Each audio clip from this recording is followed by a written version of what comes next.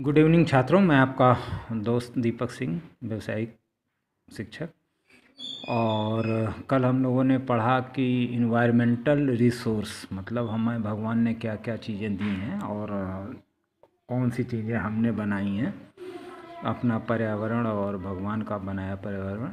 तो living non living things को जाना समझा और मिट्टी भी एक देखिए इसमें क्वेश्चन है। आ, कौन सी मिट्टी रत्न गर्भा कहलाती है? तो भारत के दक्षिण पठार की मिट्टी रत्न गर्भा कहलाती है।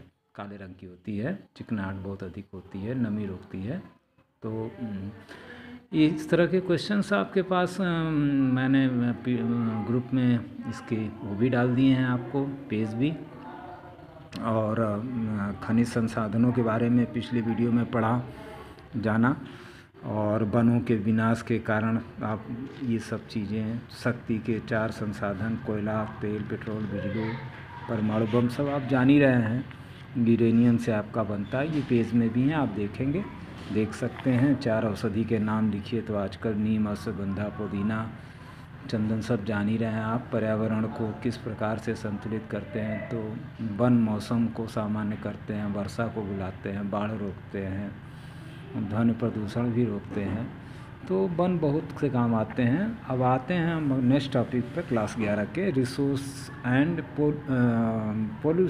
पॉपुलेशन एक्सप्लोजन देखिए, ये बहुत चैप्टर थोड़ा बड़ा है और इसके अंदर हमें पढ़ना ये है कि जनसंख्या से पर्यावरण पर क्या प्रभाव पड़ रहा है।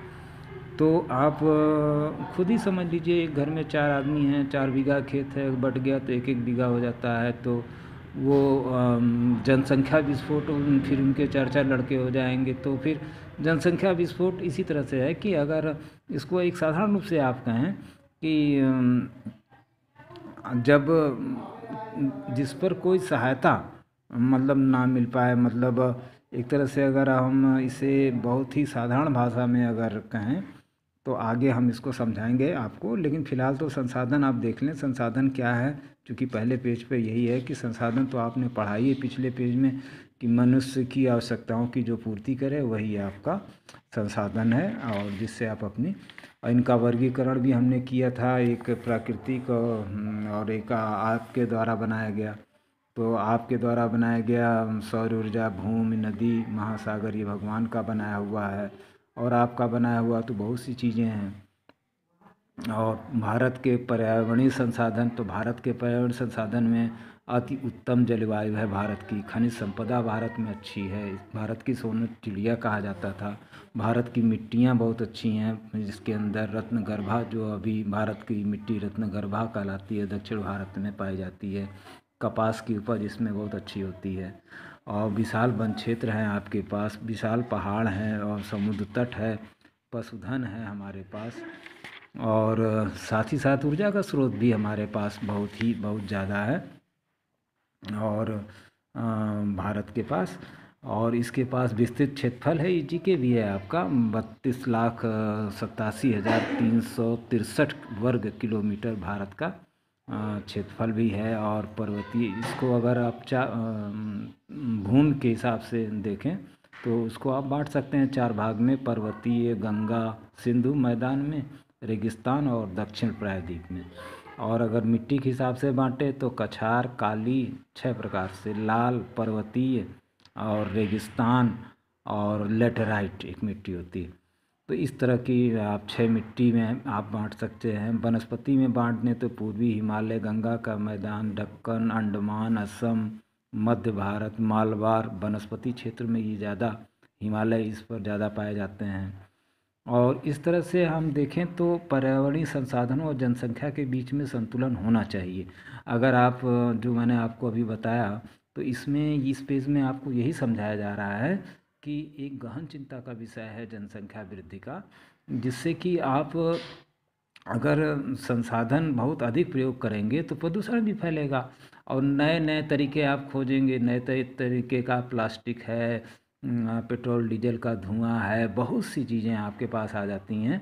तो इससे इनके बीच में संतुलन बनाना अनुकूलतम जनसंख्या, किसे कहेंगे आप? जैसे अनुकूलतम जनसंख्या यहाँ लिखा है तो कार्य करने के लिए जो मतलब जितनी जनसंख्या रहे, उतना काम रहे तो उस राष्ट्र को हम कहेंगे कि यहाँ पर अनुकूलतम जनसंख्या है और इसका पर्यावरण का इससे दोहन भी नहीं होगा और उपयोग में इनकी मैन पावर जो है, जनसंख्या एक तरह से मैन पावर है आपका तो उन्हें वो प्रसन्नतापूर्वक देश को रख सकते हैं उस, अगर बराबर रहे तो।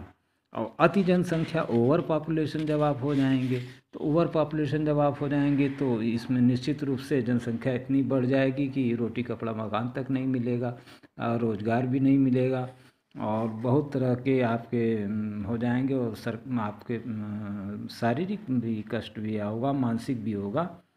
और एक पूछता है, कार्यशील जनसंख्या कर, कौन सी है? तो कार्यशील जनसंख्या जो राष्ट्रीय आय में योगदान करता है इस देश की श्रम शक्ति, इससे देश की श्रम शक्ति का बोध होता है। तो प्राय देखा गया है, पंद्रह से सोलह से जो सरकार ने दिया है, साठ वर्ष की आयु के लोग रोज़गार में रहते हैं, इस श्रेणी में आते हैं।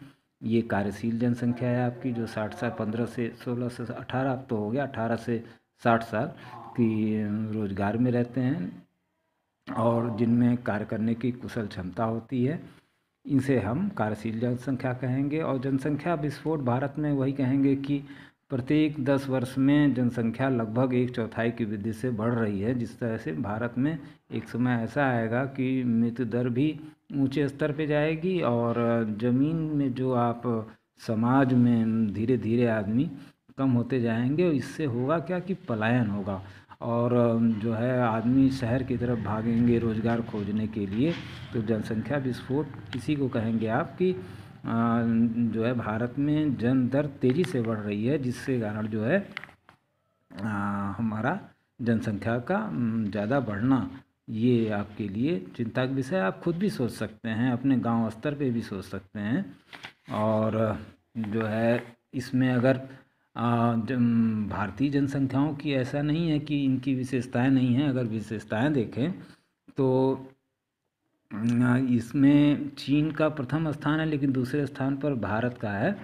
और विश्व की जनसंख्या का करीब पंद्रह बीस परसेंट तो भारत में ही है। और प्रति डेढ़ मिनट पर एक बच्चे का जन्म होता है।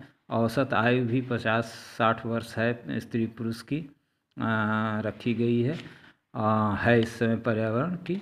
और जनसंख्या वृद्धि से पर्यावरणीय समस्याएँ जो आपकी होंगी वो ये कि अगर ये पूछता है कि जनसंख्या वृद्धि से आपकी पर्यावरण में क्या क्या समस्या होंगी तो साफ़ सीधी बात है, गाड़ी चलाएँगे, पेट्रोल बढ़ेगा जलेगा तो हवा में प्रदूषण होगा भोजन और खाद्य पदार्थ की गुणवत्ता भी कमी आएगी, खाद का प्रयोग करेंगे हम लोग, गोबर की जगह रासायनिक तो इससे भी होगा। तो मृदा का तमाम तरह का आपका जो है जनसंख्या वृद्धि से पर्यावरण समस्या आपको आएँगी। और इसके अंदर आदमी तमाम तरह के हथकंडे अपनाएगा जिससे कि वो आपका काम करे। जैसे कि आजकल बारातों में जला हुआ तेल बचता है तो उसको लोग बेच देते हैं तो उसमें समोसा छान के लोग खाते हैं। मैंने सुना है लेकिन देखा भी है कहीं कहीं।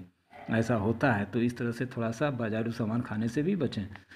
जनसंख्या विस्फोट पर नियंत्रण के उपाय करने का वही है परिवार नियोजन आप अपनाएँ। हम दो, हमारे दो और हम एक, हमारे एक, अब तो चल रहा है। तो हम दो हमारे एक सॉरी और पहले था हम दो हमारे तीन।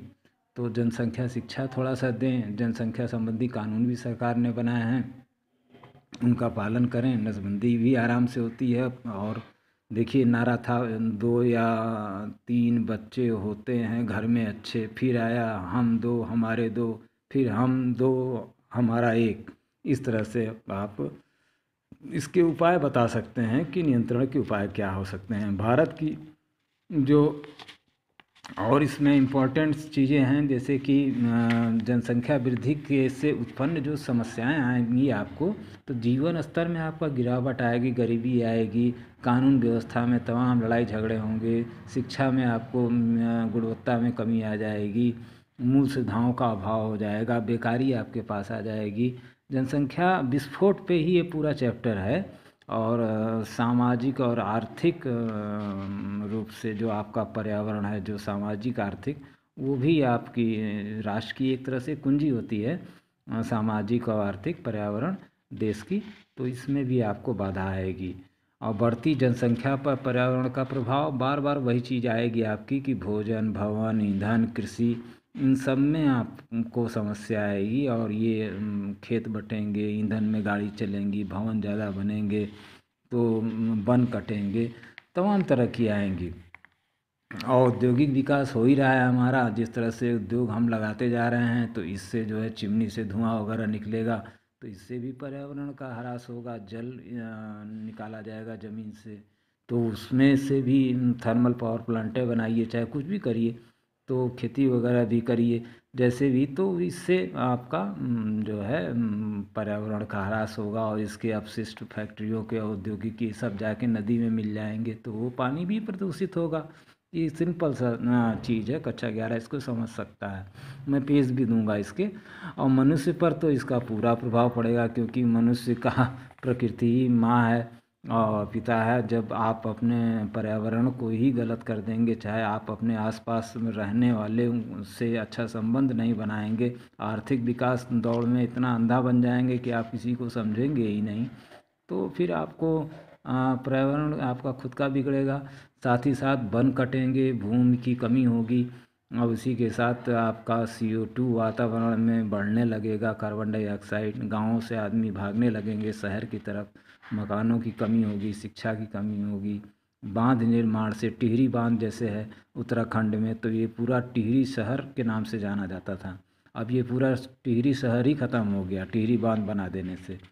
तो अब जो पीढ़ी दर पीढ़ी रह रहे थे, उनको उजड़ना पड़ा, ना चाहते हुए भी उनको भागना पड़ा। तो आर्थिक विकास से बढ़ती हुई जनसंख्या, आर्थिक विकास भी अवरुद्ध हो जाता है। तो बढ़ती हुई जनसंख्या को रोकें और इससे नहीं तो प्रदूषण, प्राकृतिक सम समस्याएँ भी आती हैं। बाढ़ जैसे उत्तराखंड में आ गई थी, जंगल कटने, मौसम में भी परिवर्तन होता है। कहीं कहीं तूफ़ान, ओला गिरने लगते हैं बिना मौसम के। और जनसंख्या में वृद्धि में कारण क्या है तो आप देख लीजिए तो कारण भी आप लिख सकते हैं कि भारत की जलवायु गर्म होने के कारण स्त्रियों में प्रजनन शक्ति की, अधिक होती है और विवाह की अनिवार्यता भी यहाँ पर ज़रूरी है। बड़े परिवार को सामाजिक सुरक्षा का घोतक माना जाता है, संतान को ईश्वरीय देन माना जाता है। धार्मिक दृष्टि से एक पुत्र होना बहुत ज़रूरी है। लड़की हो गई तो फिर आपको कोई पूछेगा नहीं। तो इस तरह से ये जनसंख्या वृद्धि के कारण है, आदमी बढ़ाता चला जाता है। इस चीज़ को आप आराम से देख सकते हैं।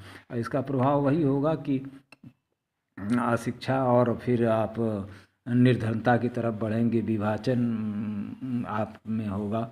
और इसके नियंत्रित करने के उपाय अगर आप कहें कि इसको नियंत्रित कैसे किया जाए तो मनोरंजन के साधन में वृद्धि करिए, सिनेमा से, दूरदर्शन से, लोगों को बाल विवाह पर रोक लगाइए, विवाह की आयु में छूट दीजिए, शिक्षा का प्रचार करिए और मातृत्व पर रोक मतलब दो से तीन संतान ज़्यादा नहीं और स्त्री वर्ग स्त्री वर्ग को सम्मान दीजिए और परिवार नियोजन को सरकार के अपनाने की कोशिश करिए बिल्कुल अपनाइए।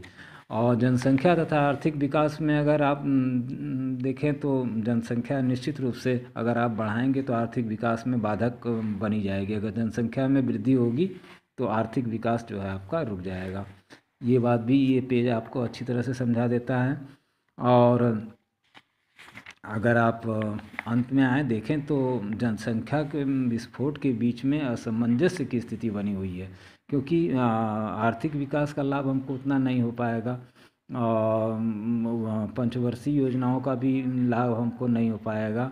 जनसंख्या बढ़ती जाएगी तो खाद्यान्नों का भी अभाव हो जाएगा, महँगाई का मुबाला हो जाएगा, कृषि भूमि पर जनसंख्या का भार पड़ने लगेगा मतलब कृषि की भूमि पर, जिससे हम खाते पीते हैं उस पर जनसंख्या आने लगेगी, नगरीकरण होने लगेगा, औद्योगिकरण से मतलब एक असमंजस्य की स्थिति बनी हुई है। तो इसके साथ ही साथ हम आपको अब ये चैप्टर खत्म भी होता है, पंद्रह मिनट में लगभग हम चाह रहे थे इसको ख़त्म कर लें। और छोटे छोटे क्वेश्चंस भी हैं इसके अंदर। अनुकूलतम जनसंख्या क्या है? अतिशय जनसंख्या क्या है? मतलब वही अधिक जनसंख्या क्या है? और कार्यशील जनसंख्या क्या है? जनसंख्या विस्फोट क्या है? औद्योगिकरण का क्या प्रभाव है? भारत की तीव्र जनसंख्या वृद्धि के दुष्परिणाम बता दीजिए। तो यही सब चीज़ें इसके क्वेश्चन हैं। अमली वर्षा से अक्सर पूछता है तो अम्लीय वर्षा क्या होता है कि पर्यावरण में अम्ल की उपस्थिति मुख्यतः तीन गैस होती हैं, जैसे सल्फ़र डाई का डाई गैस जो कि मुख्यतः कोयला से आप निकाल देते हैं, नाइट्रोजन गैस जो परिवहन के साधन पेट्रोल से और अधजले हाइड्रोजन कार्बन। तो जब ये सब मिलते हैं तो इनके प्रभाव से जो ऊपर ऊपर जाते हैं, जब हवा, पानी में मिलते हैं, जब वो वर्षा होती है तो इससे पौधे सूख जाते हैं, पतझड़ हो जाता है, मिट्टी का अम्लीय हो जाती है। इसका पीएच मान जो आपका रहता है तो पीएच मान आप pH T D S P H video आप हमारा देख के समझ सकते हैं। और विस्तरीय विस्तृत क्वेश्चन में अगर आपसे पूछ दे तो अनुकूलतम जनसंख्या ये क्या है? दो पेज, तीन पेज इसको लिखना हो सकता है। ये आता है दो, तीन पेज में लिखने में। और भारत के प्राकृतिक संसाधनों, जनसंख्या के बीच में असमानता के कारण समस्याएँ क्या क्या खड़ी हो गई? तो ये भी आप बता सकते हैं। बहुत समस्या खड़ी हो गई। ज़मीन बट गई, कृषि बट गई, खेती बट गई, सब कुछ तो बटा ही। तो इस चीज़ों को आप देख सकते हैं, समझ सकते हैं। और ये दो दो नंबर के क्वेश्चन देखिए, ऐसे छोटे छोटे लिखना उत्तर और ऐसे करके ये लिखने का तरीका आप हर जगह अपनाएँ इसी तरह से। मैनी मैनी थैंक्स छात्रों, आज का कॉलेज और ज़्यादा समय ले लिया मैंने आपका। माफ़ करिएगा, लेकिन चैप्टर थोड़ा बड़ा था क्लास ग्यारह। थैंक्स